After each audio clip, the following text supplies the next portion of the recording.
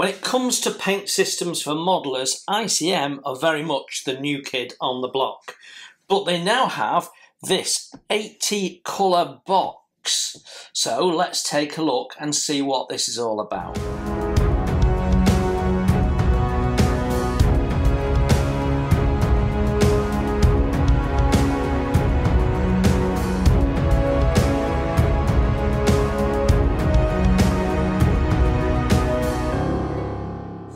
Yes, hello, welcome to Model Kit Stuff. Um, this is uh, part one of a product review of ICM paints. Now, I've been having a little bit of a play with ICM paints, but I want to do it more uh, structured for you guys to show you uh, what it's all about. And we're going to start by reviewing this. This is their 80 colour acrylic paint set. Um, it's their item number 3004. It's um, available in the UK. And here's the interesting bit. It's the cost. I got this from a main retailer online for £62.99 pence plus a little bit of shipping. So 80 paints for £63. That's an average of 78, 79p per pot. Pricking your ears up now, aren't you? So these are acrylic paints. Um, let's have a look at the box and what you uh, what it tells us on the box. So on the top, it's got these little coloured circles, which I imagine show you what all the different colours are. I've not looked in this yet, so I don't know what's in there. All I've done is taken the cellophane off. Um, it came cellophane wrapped. Um, around the sides, we've got the paint colours with their paint numbers. So that is really handy. Now, although it says 80 colours, I think there's only 77 because you get three varnishes in there as well. Um, and then on this side, um, tells us it's made in Ukraine by ICM Holdings and gives us the address there in Kiev. Um, and then we have some little instructions, and they basically say shake well before use. Paint is prepared for brush. So basically, what they're saying is you can brush paint these straight from the pot. So it'll be interesting to see.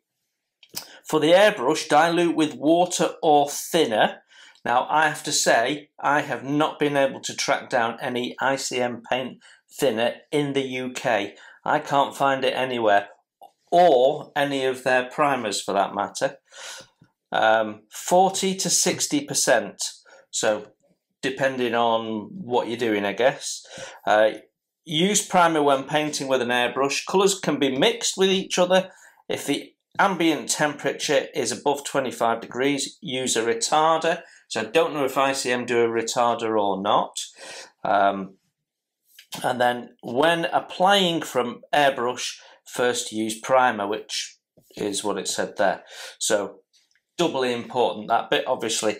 Um, but yeah, very, very nice, simple, um, and quite handy to have all those colours on the outside. So I'm going to take the lid off. Like I say, I've not looked inside this yet. Ah, right, okay. So like an ICM kit, we've got um, a, a separate lid. So that's pretty cool. Um, so I'll put that to one side. So what we've got now is a much more sturdy box. So you could use this as, as the storage for it, I guess. Gate opening. And then what have we got in here? We've got, well, all the paint and a little bit of packing bubble wrap right at the front there just to stop things moving about a bit, I guess.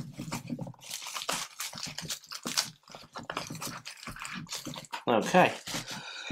So, first thing you notice is all the colours are easy to um, identify looking down on them because they put the colours on the lids. Now, obviously, when it's printed on a label, it's not necessarily an exact match, but at least you know, oh, I want I want that American Diner pink, you can find it.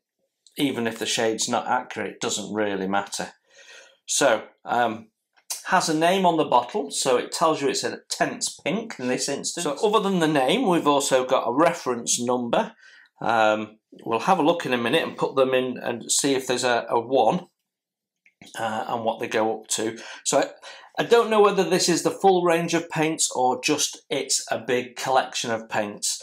Um, I'm not sure. Typically, you buy ICM paints in a paint set. I've yet to find anyone selling the individual pot. So when you come to replace one, you've got to buy buy that one within a set currently. Although I have seen them being sold at um, the the Telford show last year um, individually. So it it might be that they're going to get them into the shops as individual pots, but it is a fairly new system.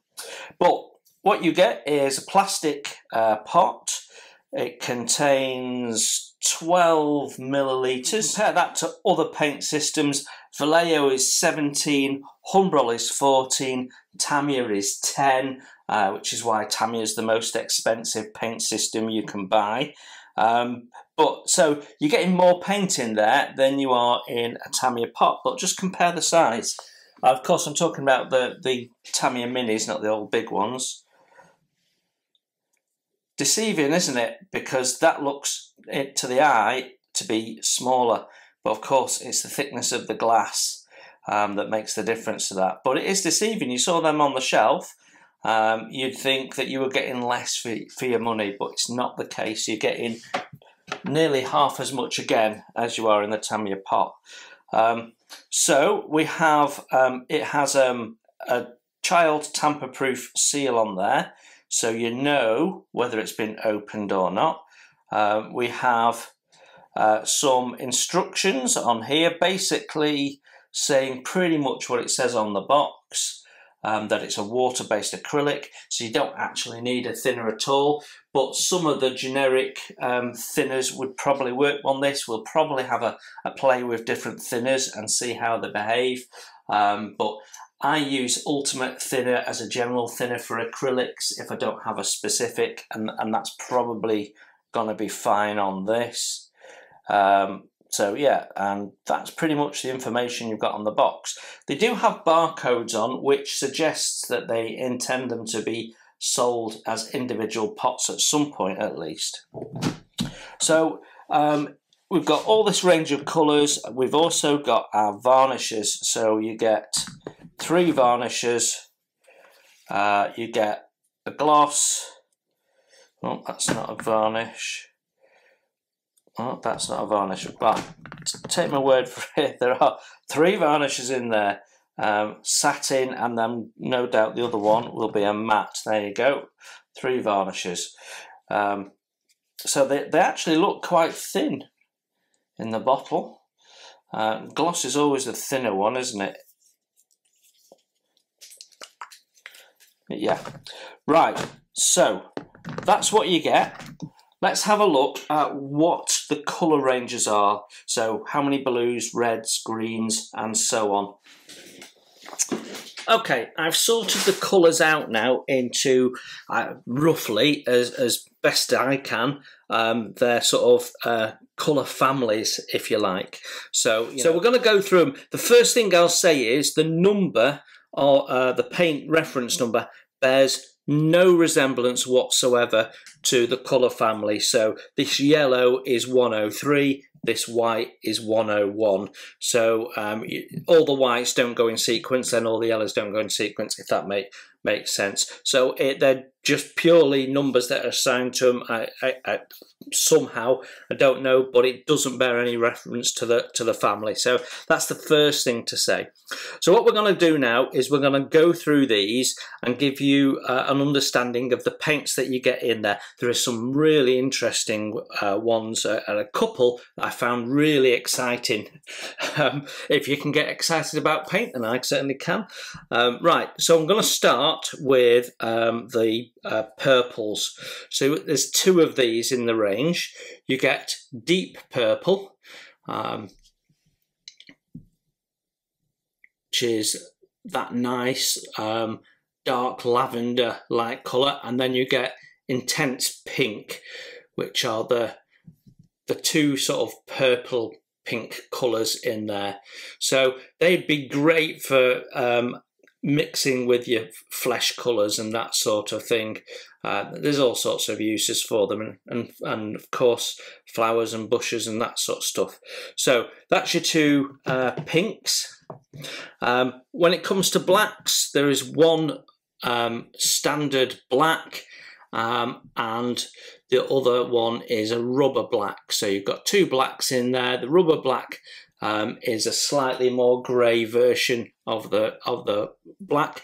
None of these say that they're gloss um, or or matte or anything like that. It's just left to the varnish. So we'll have to try them to, to see. But those are the two blacks that you're getting. Um, then when it comes to flesh, again, there's two colours there. We have basic skin tone and light flesh. And you can see there's quite a difference there. There is no um, uh, black skin tones or anything like that in there. You're mixing colours to achieve that. Um, and like I said, you can mix um, some of the purples and pinks in there to, to get red around the eyes and um, that sort of stuff depending on, on your project. But yeah, you've got two flesh colours. Then the oranges, we have three. So we have a, a medium orange, which is sort of a standard um, lifeboat orange, if you like. Um, it's quite a nice, vibrant orange, that isn't it? Um, and is a good match for um, Tamiya and Humbrol oranges. We'll talk about matching uh, a little later. And then you've got this deep orange, which is a, a bit of a burnt orange. And I'm already looking at that and thinking that might look really good on my Dukes of Hazzard um, model car. But yeah, deep orange, which is a darker orange than the uh, than the bright one, as you can see. And then um, I've put in the oranges because it's got an orange tint, but it's sort of between an, an orange and a, and a brown in a way, and it's medium rust. So it's a red, brown, orange type colour. Um, slightly paler than some rusts, but um, it's a nice shade. That that's that's all right as a base for exhaust before weathering and stuff. So yeah, okay, a rust colour. So all of those were a given. Then when it comes to the the yellows, um, we've got. Actually, I'm going to put that in the green. I don't know why I put that in the yellow. We've got two, four, six yellows. So let's go through there. Your base, you start off is deep yellow. So, you know, your propeller tips, that sort of thing, signal yellow. That's where you are with that. Um, and then we've got um, beige, which is a, a, nice sort of stone colour. Um, pale sand, which is a very pale sort of um, Jamaican beach sand colour that. Um, I quite like that because it is paler than most sands. So I think that's a nice colour. Um, then I've put buff in there, fairly standard colour. Um, ivory, um, perfect if you're doing um, tank German tank interiors, World War II. Um, might even need a slight hint more yellow in it for, for a tank interior, but it's uh, it's good to have an ivory um, and then ochre, um, which again uh, a really nice, well used um, colour, often used for for weathering and that sort of stuff. So yeah, good to have that in there. So that's the yellows. Then we've got the browns, um, and uh, there's quite a few of those. Now, I've put deck tan in the browns. I know it's sort of more, more of a grey, but you think of uh, wooden decks as being brown. So I put that in the browns, but they do have a deck tan, um, which is comparable to the um, Tamiya uh, deck tan, which is a sort of a, a sun bleached tan colour, which I always argue that you don't really get because they're, they're, they're scrubbing the decks so often that you, you don't get them the, the sort of grey aged look. But it's really handy if you want um, weathered um, wood in your diorama. So deck tan, really good colour to have in that collection. Um, then we've got uh, British khaki, um, which looks like a really nice colour. We have um, tan earth, which is like a, a, pale mud colour. You'd easily be able to thin that down and turn that into uh, dust or, or what have you, or um, um, mud settled into your uh, tyre tracks. I think that's a, a, nice colour in there as well. Then we've got green ochre, um, which again is similar to the to that earthy colour. You could use it for dusts, you could use it to add variation to one or two of the other colours. Uh, and we've got leather brown, which is a real, almost grey colour, but there is quite a brown hue to it. Um, so I, that, that's a, quite an unusual colour that, and I like that just because it's a little bit more unusual. It's not got the, the richness of reddy brown that leather brown quite often has. So I quite like that. Then we've got um, chocolate, good foundation for anything. Um, I, I, think it, it's it's more towards the the black brown than the red brown end of chocolate, but chocolate they call it. Um, then we've got a light earth, again another uh, muddy type colour, which is good. Uh, green brown, um, again another earthy tone, so I like that as well. Um, then we've got um, another saddle brown. What, where was the other one? Um, oh, the other one was leather brown. This is saddle brown, yeah. Um, and that's um, that has got more red brown in it. That that's almost the leather colour that you'd sort of expect. So using those two together, um, one as a base and one for dry brushing, you could get a nice aged look. So I like that colour, saddle brown. And then finally, uh, deep brown which is a nice sort of molten chocolate colour.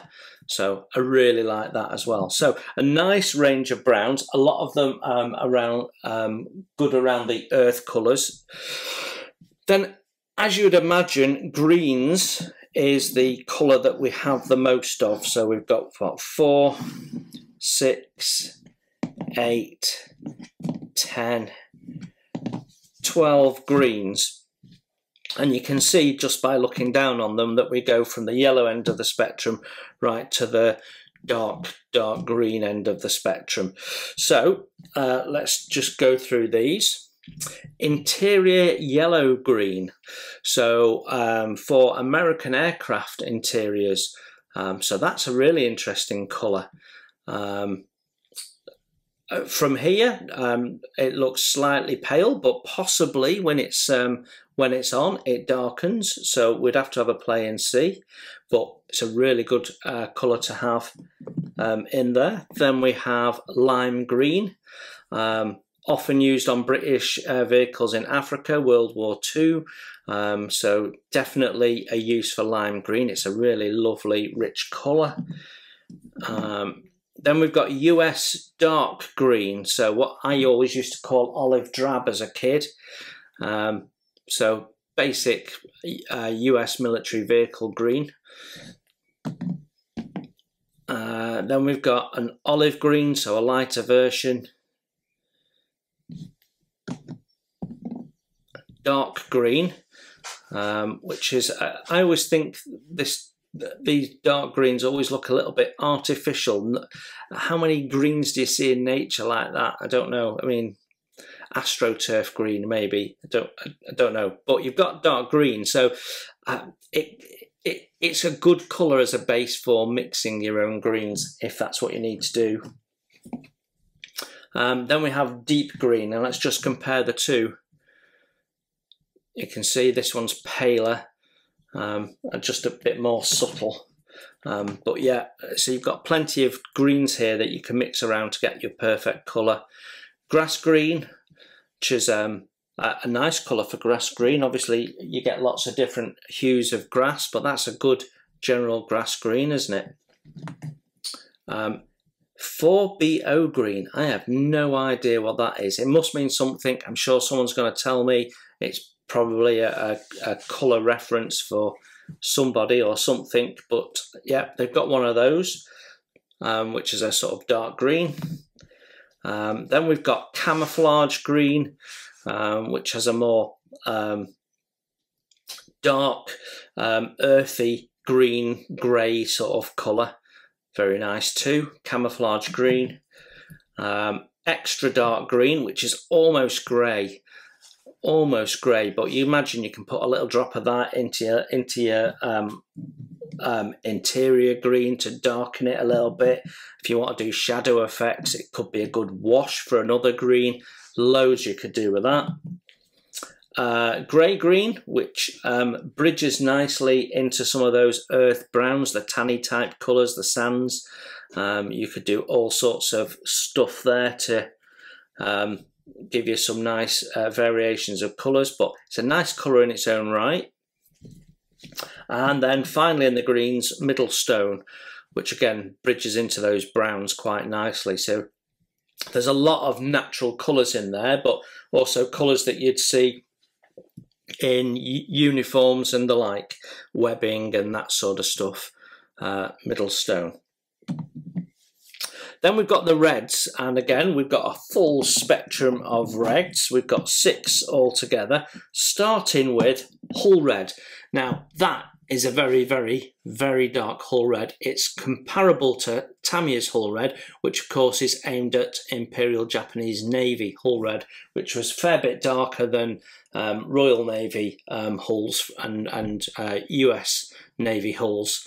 So, um, yeah, you wouldn't use that on a British ship. So, calling it Hull Red, it's a difficult one because uh, maybe they should have put Imperial Japanese Navy hull red on it.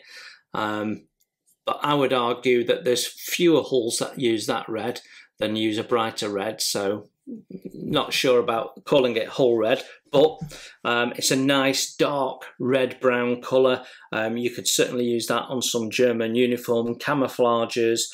Um, it's it would do well on some um, leathers and bits and pieces like that. Also, now we've got a matte red. This is the only colour I've noticed that says matte on it.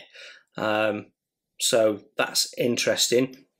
You often get matte reds used um, inside of um, vehicles, pull handles, that sort of stuff. But it's a really nice, deep, rich red. So I like that. Good to have that. Um, then we've got a blood red, which is an interesting description. And suddenly the paint splashes look a little bit more gruesome, don't they, when it says blood red on it?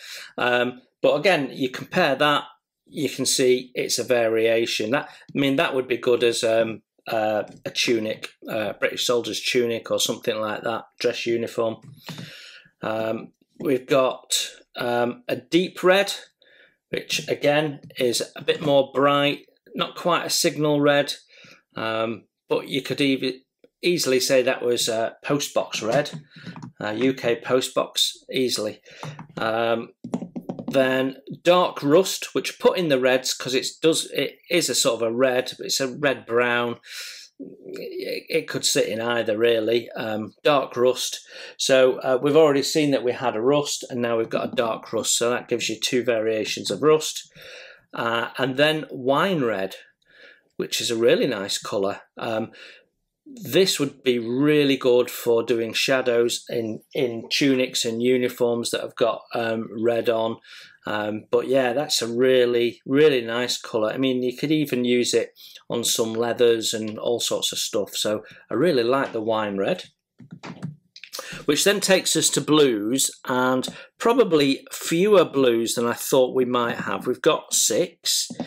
Um, now, given how many sort of blues you come across um, in modelling, uh, particularly with air, aircraft, um, I thought we might have a, a, bit more of a range of paler blues than we've got, but I, I guess that straddles into greys a little bit. So you might be able to use some of these with some of the greys to get some of the other sky blues and things that you might want.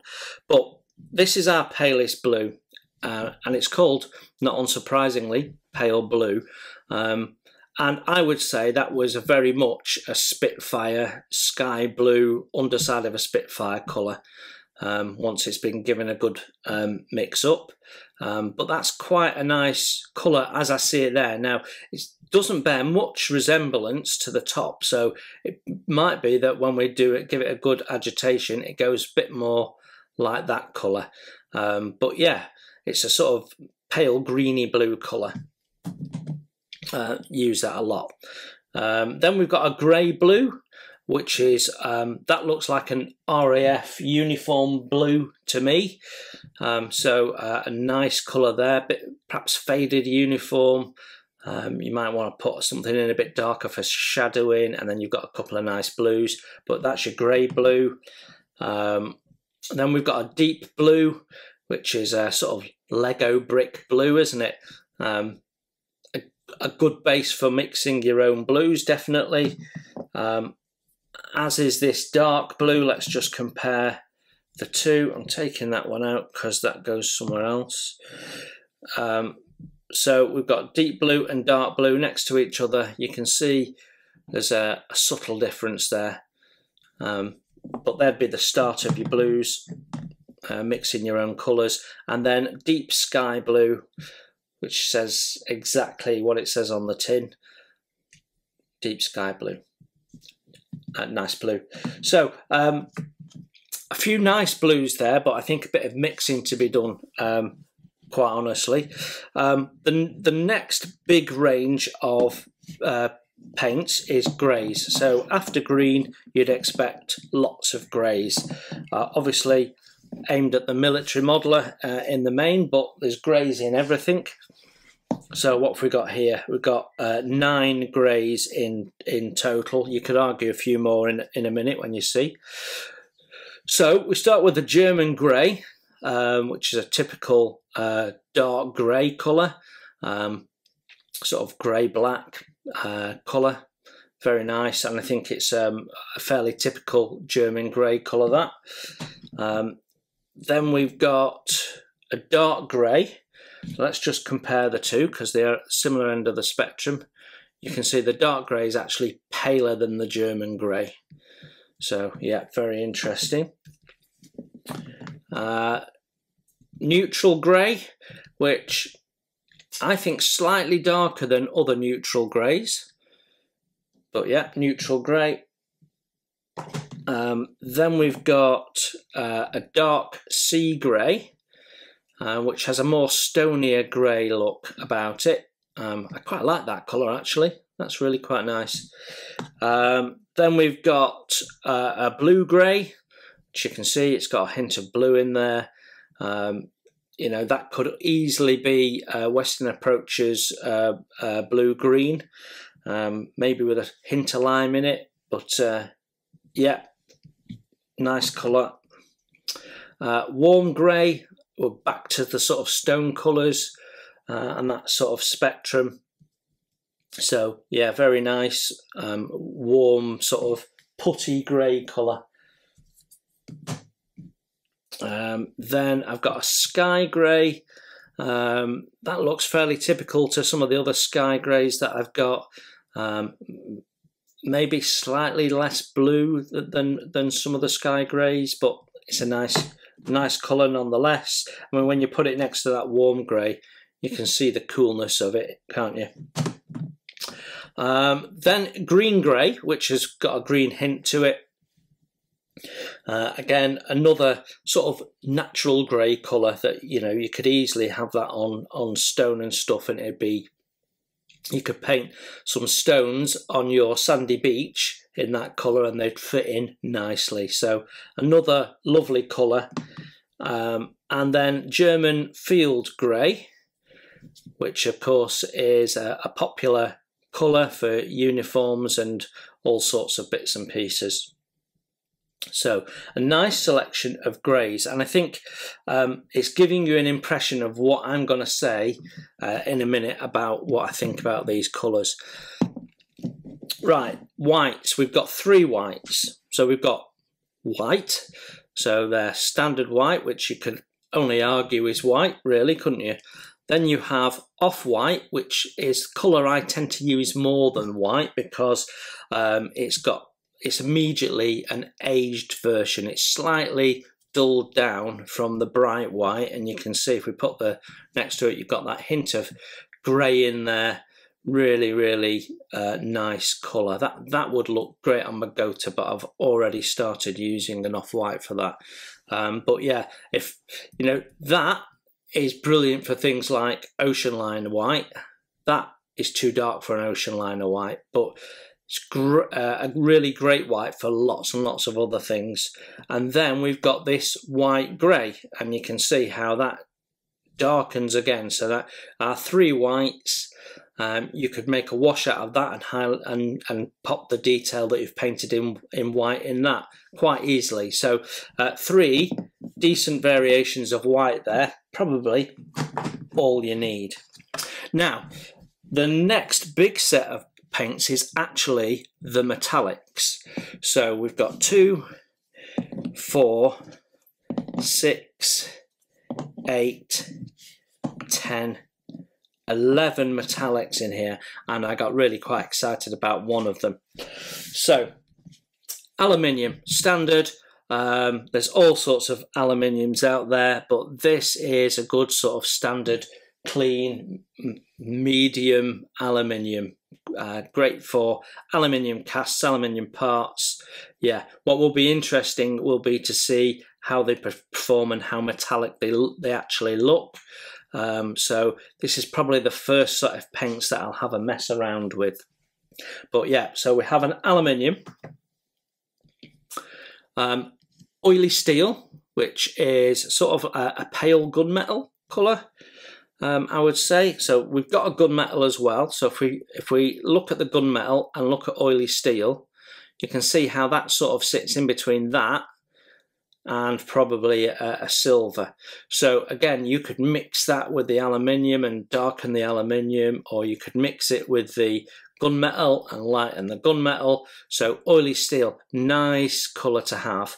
Um, the gunmetal, fairly standard colour. Everyone's got to have a gunmetal colour. Um, yeah, so happy that we've got that. Uh, copper, uh, lots of things have copper pipes and cables and bits and pieces.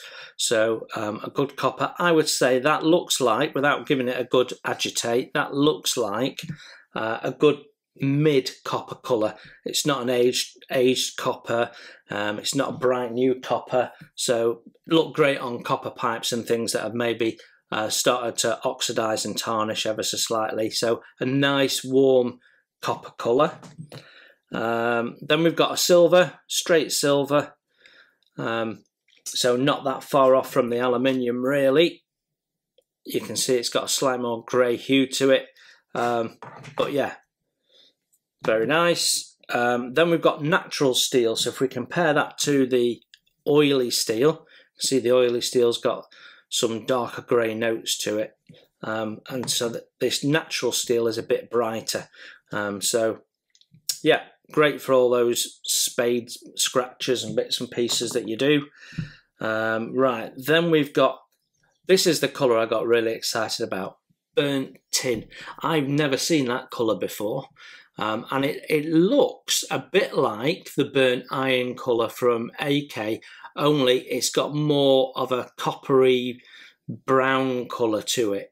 So this is going to be really, really good for doing um, dark metallic washes on things like coppers and brass and bronze where you want a bit of an age look it's going to be brilliant it's also um, going to be great for um, burnt metal effects and that's why I got excited because um, I, have been wanting to do mess around with some burnt metal effects for a little while and that plays into it really really nice that is a beautiful looking colour. I've not seen that colour before um, in a, a paint. So I really, really like that. Burnt tin. Uh, then we've got brass, which is like um, a mid um, bright brass. Um, it's not an antique brass and it's not a new brass, so it sits right there in the middle. So you'd have to mess with it if you wanted to do other things, but I think that's a good standard brass. So yeah, you need to have a brass, so a good brass, a bronze, and a really nice dark bronze. Um, so great for your propellers and bits and pieces like that, your, your ship propellers and stuff. And then see how the burnt tin complements that. Really nice.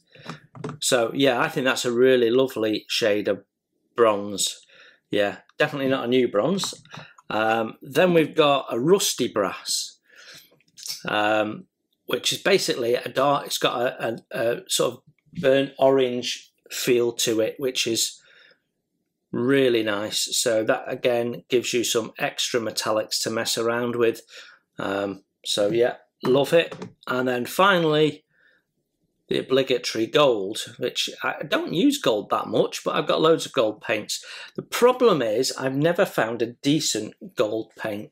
Um, and the the saturation in this paint looks really really good so I'm actually quite excited to find that because I still haven't found a gold paint that I find goes down satisfactorily so I'm excited to try that one now then we've already talked about the varnishes and we know that we get three varnishes matte satin and gloss so we can skip them that leaves us with these paints here six of them and although they all look very different, they've all got one thing in common, and they're part of the clear range. So we've got a number of clear. So I'm guessing that these are like the translucent paints, like the clear orange, red, green, and blue that you can get from, from Tamiya, for example. So let's have a look at what we've got. We've got a clear orange, which is definitely a darker orange than the Tamiya clear orange.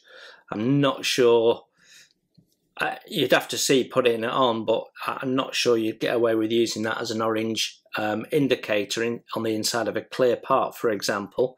But clear orange, clear red, uh, always helpful for reflectors and that sort of stuff.